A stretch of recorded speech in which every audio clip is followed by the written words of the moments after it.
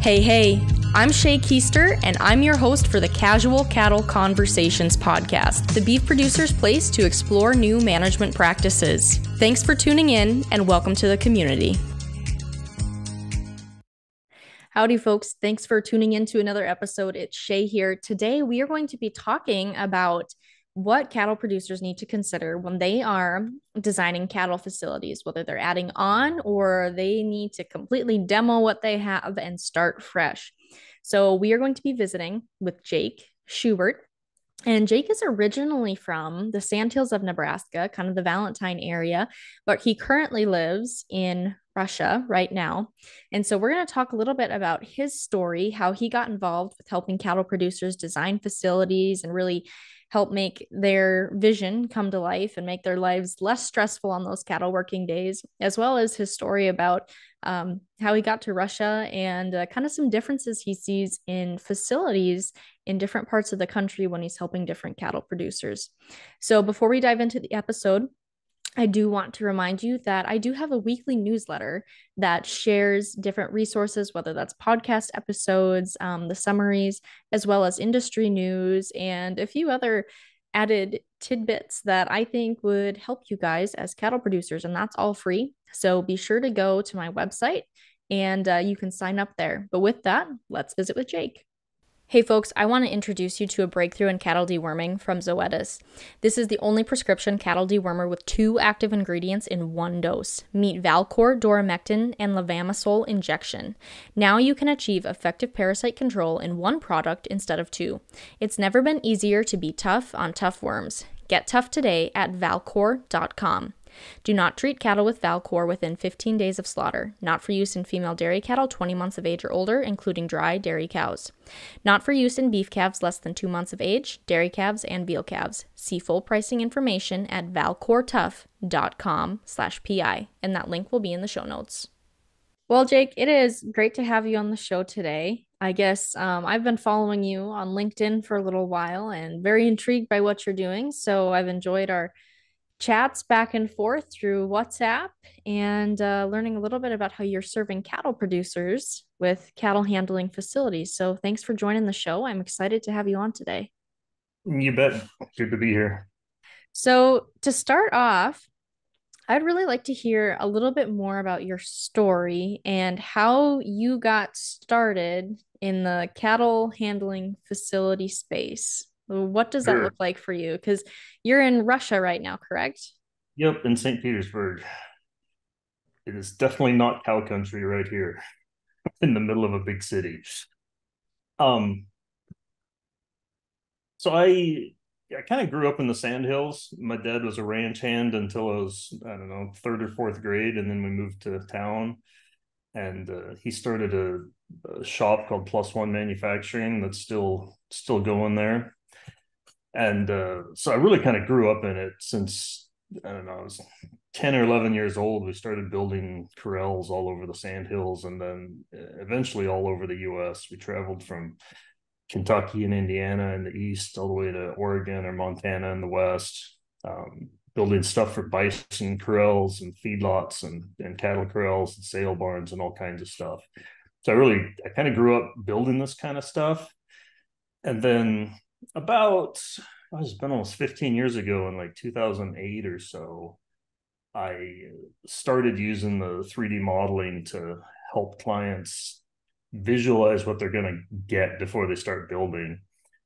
Because it was always a problem um, nailing down a design with clients because you know most people are not designers. Um, most people aren't really good at making blueprints and and uh, figuring out exactly what they need before they start building. And it's especially true with something like a corral, where most people will only build one or two sets of corrals in their whole year or in their whole life. So I was working on a project with the uh, Valentine sale barn to replace uh, the loading docks that they had, and we, you know, having a hard time communicating exactly what what we were going to be building for them and you know exactly what it would do better than their old loading docks. So that's when I started using SketchUp to to make 3D models and show the clients, you know, what a new set of corrals will look like. And then after I I moved overseas, I kind of needed a way to make some money without having to just go illegally work changing oil or something. So I decided to double down on the design stuff and, and start a company and start marketing it to uh, you know, basically just sell a design service just for corrals and uh, uh, calving barns and and uh, you know beef beef cattle infrastructure basically. So and why been, why did you ahead. move overseas? Well, that's a long story too. I in uh, I think it was 2011. I traveled to Kazakhstan for the first time, and uh, I was there to help some to help some people that were that were selling cows. And anyway, long story short, I ended up meeting my wife in Kazakhstan. She's from St. Petersburg, but I met her in Kazakhstan. And uh, this end of 2017, I moved over here and we got married and started having kids. So okay. So why are you passionate about cattle handling facilities specifically? Well, I think it's it's more about helping the people than it is cattle handling uh, for me because uh, when I was building stuff, I saw people had a lot of trouble, you know, visualizing what they're going to build um, before they start having to start spending tens of thousands of dollars to start building stuff and oftentimes not turn out exactly like they wanted. So to me, it was really more about helping people design and build something that that they need, but they don't have any real experience in building. Um, and I, I do enjoy working with cows. I enjoy handling cows. Um, I think it's a you know a good thing to have a low stress cattle handling both for the animal welfare but also just from the business sense it's if you can avoid hurting an animal it's going to make you more money so, so it makes sense that way too yeah and that's something that i think you talked to a lot of entrepreneurs and business owners it all does go down to helping the people. That's where a lot of that reward comes in. Yeah it really is. Um a lot of my clients are younger guys in their 30s or so that are starting ranch and they need to you know rebuild the old homestead that they bought or inherited that was built in the 50s mm-hmm. and they want to build something that they don't have to that they're not going to regret in the future and they're not going to wish they'd done a lot of changes to so a lot of the times the designs are more you know more of a long reaching plan of how they would like everything to be and I'm sure they'll get changed in the future, but at least it gives them a good place to start to build a set of corrals that will grow into whatever they end up doing in the future.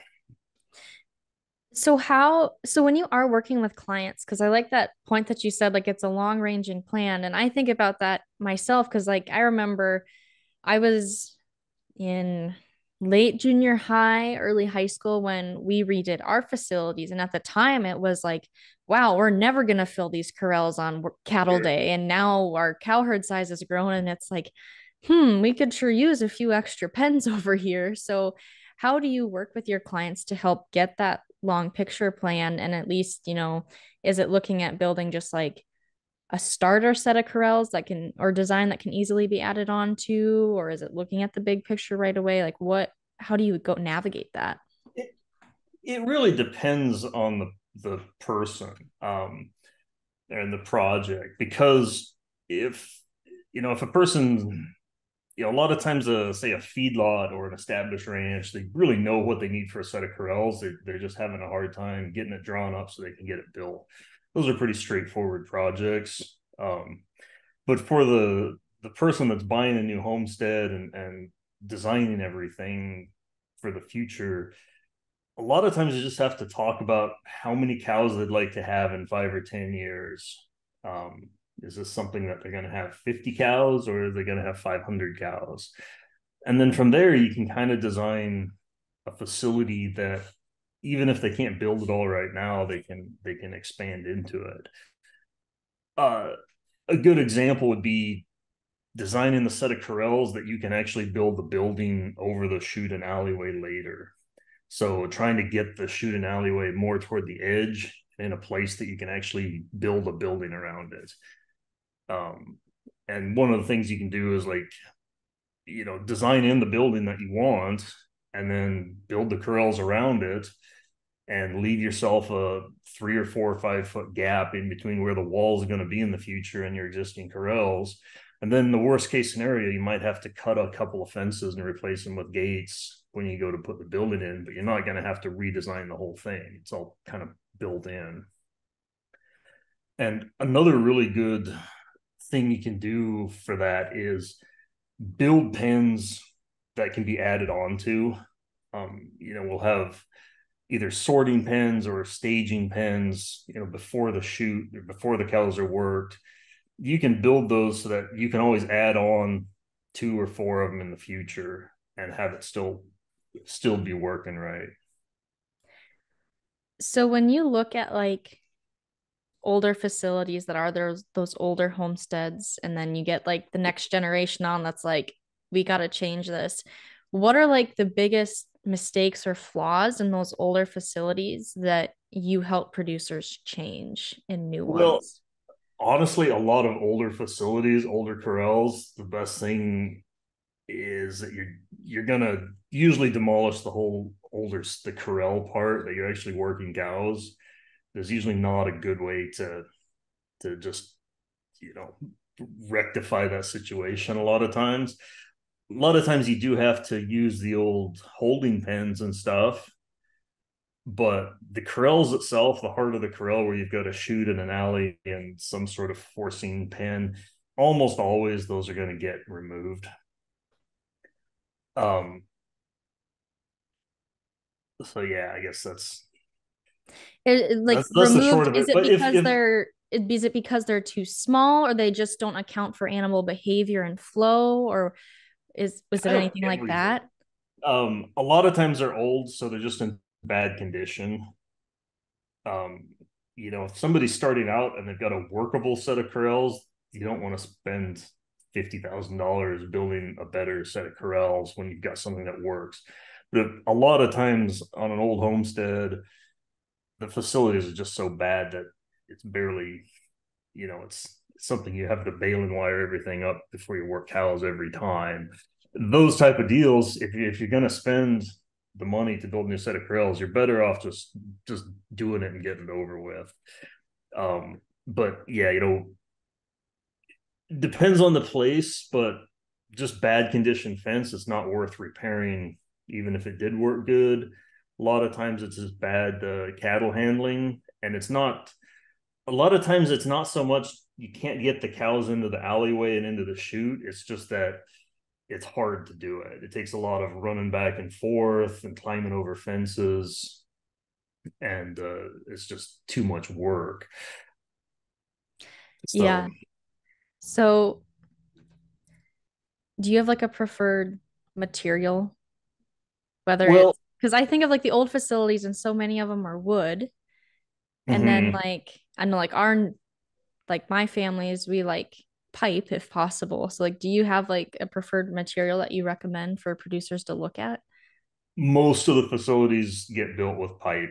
You know, used oilfield pipe is probably the most most common by far material to build new corrals out of. Um so yeah, stuff like two and seven eighths oilfield pipe for the main posts, and four and a half inch drill stem for the the gates is kind of what I what I recommend and what I design around. Some people do end up using the you know some alternatives like guardrails is a pretty common alternative if a person can get them at a significantly lower price. But yeah, even with the increases in prices in the last five years, the oilfield pipe is still the best deal to build the fence with. Okay. So you talked about, you know, right away when you're working with clients, you ask, you know, the goal like, are you going to have 50 cows? Are you going to have 500 cows? What else do they need to be considering when they're thinking about a new facilities? Sure. One of the things is uh, how you're going to sort the cows. And most modern facilities, you want to have some kind of way to do your sorting after they release from the chute um, as much as possible. You're always going to have to sort out cows and calves before you run them through the chute. But almost all other sorting can get done as the cows are released from the chute. And it's just easier that way because you've got the cow caught, you've got all of her information, you want to put her in a new group right then anyway. So it's just easier to do it by swinging a gate in front of the chute than it is by trying to catch her in an alleyway, read her tag, figure out what you wanted to do with her, and and doing it that way. So that's one thing is to to think about how much sorting you want to do and might potentially want to do in the future and how you want to do that sorting. Is it going to be horseback in the pen? Is it going to be in the alleyway on foot? Or do you want to do it all in front of the chute as they as they're released? That's one one good thing to think about.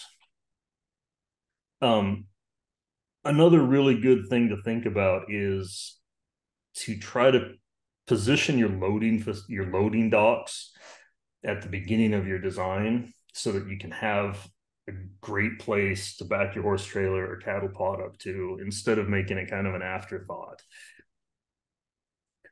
So if we're if we're going to build something that has a, a loading dock on it, which is most, um, this is one of the first things I try to place is where the loading dock's going to be and where any new building and, and the cattle and the chute are going to be. And then you kind of, the rest of it just kind of grows from there but a lot of lot of designs and, and even new stuff I've seen, a lot of a lot of people seem to just kind of put the loading dock in as an afterthought, but really it's one of the main things you use a corrals for. yeah, it is it is important. I know uh whenever we have to haul something out of my grandpa's facilities, getting a trailer backed in is a little bit of a challenge because you got to kind of come in at an angle and it's it's nice to have a place when you can do it and you're not um I guess, crammed for how big of a trailer you can get in or how hard it yeah. is to back up and turn around and everything like that. Yep. Yep. Yeah, sure. We you got to think a lot of these old homesteads predate modern cattle pots by 50 years. Mm-hmm. Never thinking of, never, probably never imagined trailers that big to come get cows. probably not.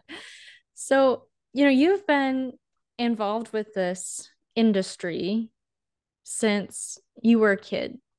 And what would you say are some of the biggest changes you've seen as you've become more experienced in the industry as well as globally? What have you seen as far as differences in design?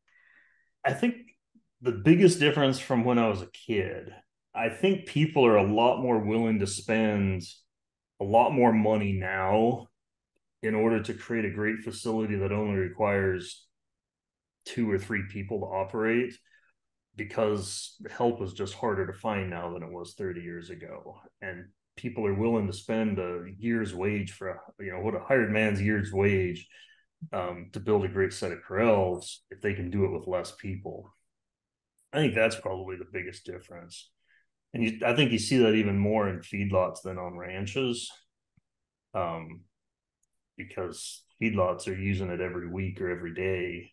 So being able to save a save some manpower or just be able to work cows through faster, it's you know definitely worth it to spend a hundred thousand dollars for better corrals. The safety side of that too is important, I think, as well. Yeah, it is. Yeah, I didn't even even mention that. You know, the the people that's you know, especially in feedlots, if you can reduce bruising on the animals, that is an immediate payoff. Um, you know, just with less less bruised carcasses. So you can if you take an old set of corrals and replace it with something that works good, it can pay for itself in a few months in some cases um, with reduced bruising if you're having a bad problem. Yeah. So what about globally when you're helping people like outside of the Midwest? Like what right. you, what's different? What differences are you seeing? Well, you know, I I haven't ever designed a project in Australia, but I did visit there, you know, about 10 years ago buying some cows. And it was interesting that a lot of the facilities that that I saw and a lot of the manufacturers that I look at there, a lot of it is uh, like more prefabricated than it is in the US. It's panels that people buy and bolt together. And I think you're seeing that now with like Arrowquip's systems that they're selling, and Silencer has some systems like that that you get a whole set of corrals as panels, and they're they're not really portable panels. You put them together and bolt them down, and you get a full set of corrals. That's kind of an interesting difference from the way we always did it in Nebraska with you know posts and dig in the ground. And I'm not sure why it is, but I, I suspect it's because of high high labor costs in the rural areas, even there, even more than in the US. Um, working in Asia and, and Eastern Europe is just a totally different ball game because there is no tradition of of working cows. If you know of, there's no real tradition of working beef cows the way we do in the midwest. Um you know pretty much zero. Most of the cattle here traditionally have either been you know they've been herded kind of an old old fashioned way or they're dairy cows so over the last 15 years as, as they've imported western genetics and trying to build western ranches they've had to kind of build the build the knowledge base and build the infrastructure from scratch um, with varying degrees of success well, so thank- you see some really bad corrals here even, even brand new stuff, you just kind of sometimes scratch your head and wonder what they were thinking.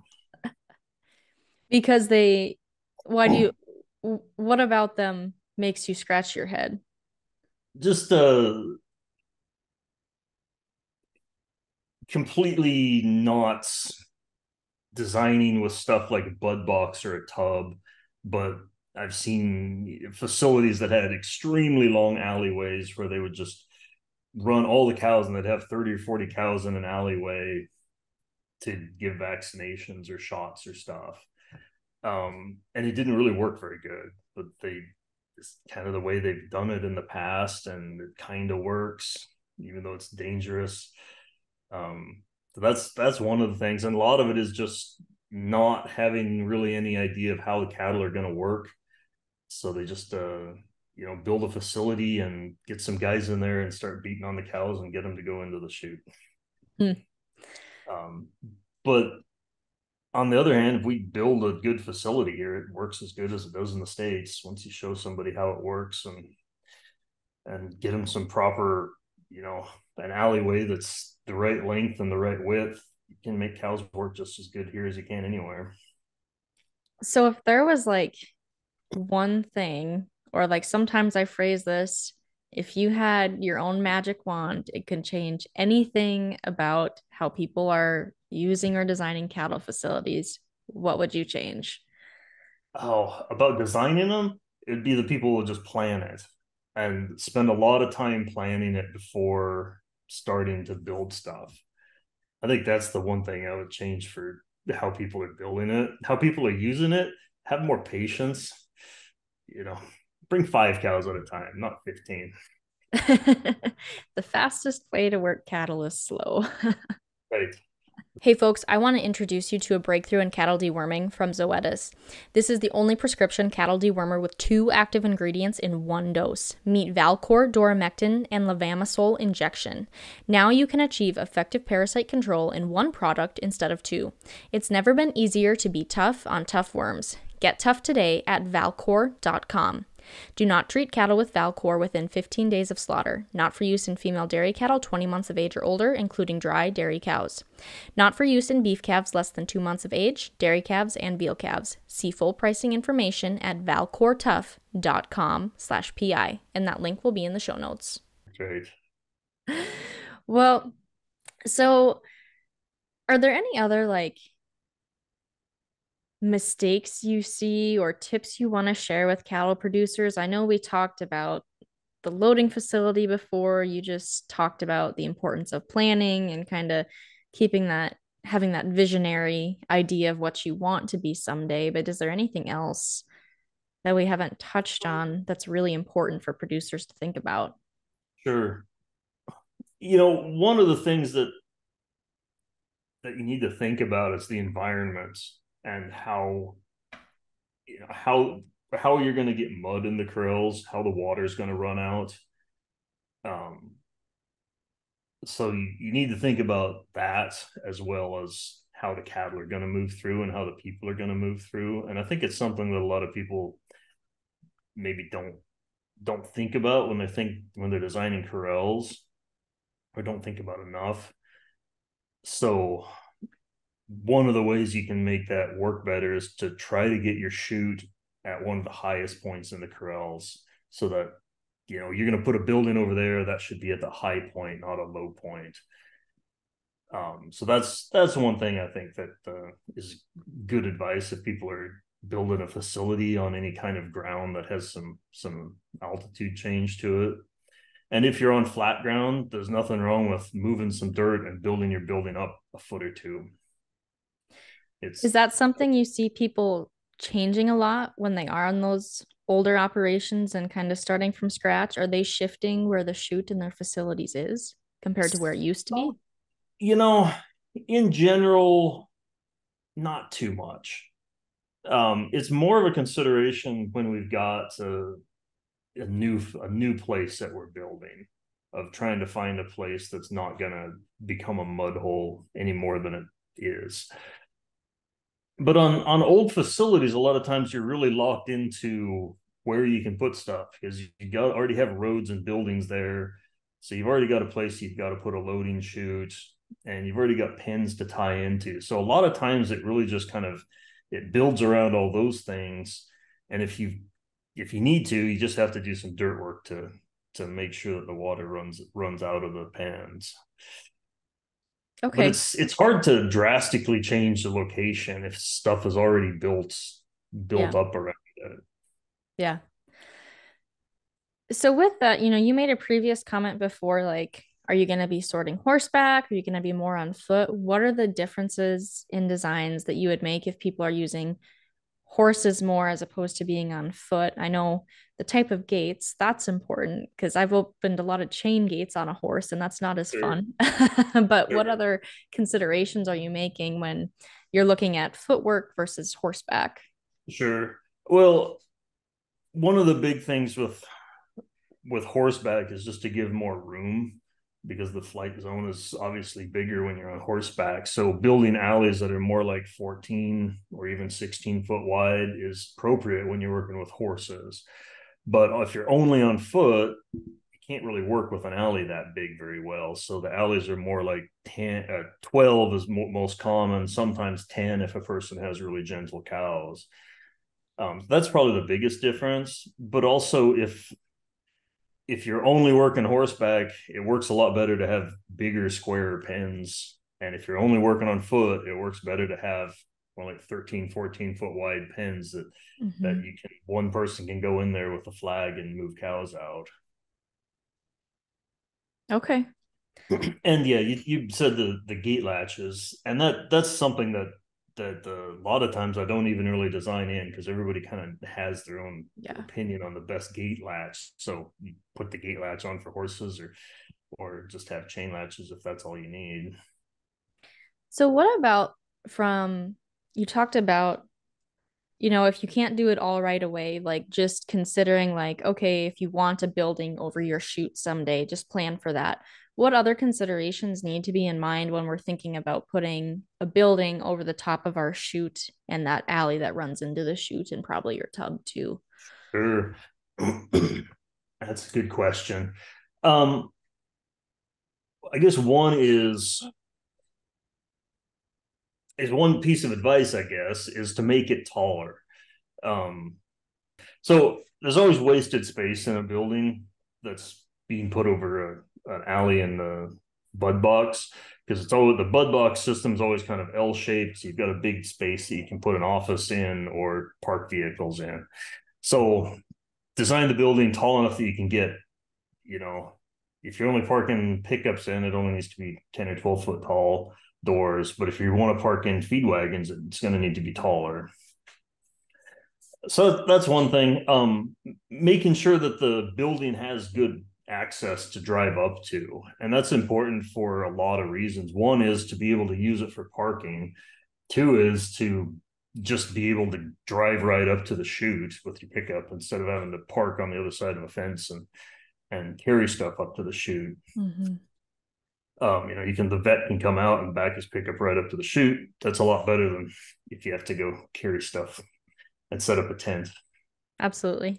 Um, another thing is to when you're talking about the inside of a building and and the area around the chute and alleyway is to give yourself workspace beside that alley and chute so you've got a chute that's what three four foot wide and then you need room for a person to stand there to work the chute, but you also need a table to put your tools and stuff on and ideally you would have enough room that another guy can walk behind him without tripping over him so ultimately, you need from the center line of that chute out, you really need about 10 foot minimum before you get to the wall if you want to use that side of the chute effectively. So try to get your chute away from the wall 10 foot. It's going to make life a lot, it's going to make it a lot more usable. And that also lets you have workspace beside the alleyway to get in and out of cow, the cow's flight zone to move the cows forward. Because if you're in tight quarters, you're always going to be pushing them back as you walk back down the alley and just causing more stress than needs to be be there. Yeah. So that's that's something. And the same applies for the front of the chute. Um, you know, if you want the chute indoors, you want to have it far enough indoors that you can work even if there's a rain coming in. You don't want to if you have the front of the chute right at the door or a foot away from the door, you're always going to be having to walk through the rain if it's raining. Mm-hmm. So getting it inside enough that you can uh, walk in front comfortably, you know, at least four or six foot back from the door is good. All right, Jake. Well, you have shared a lot of amazing insight and information. So before we wrap up today, do you have any final thoughts? That was great, great talking with you. And if anybody has any questions, um, just reach out to me by email at the jake at arxconsulting.net um, or find me on Facebook. Yep. And I will be sure to include um, your website in the show notes as well so that sure. people can just easily go look there. And I think they can contact you off the website too, yep. correct? You can just Perfect. reach me directly from the website and I'm always happy to answer questions. So awesome. All right. Well, thanks again, Jake. You bet. Thank you. And that's a wrap on that one, folks. Thank you for tuning in today and joining in on the conversation. Be sure to take this a step further and take the advice you learned and implement it on your operation. If you want to have a conversation about it, head over to my social media and send me a DM by following at Cattle Convos and connecting with me there. Have a great day.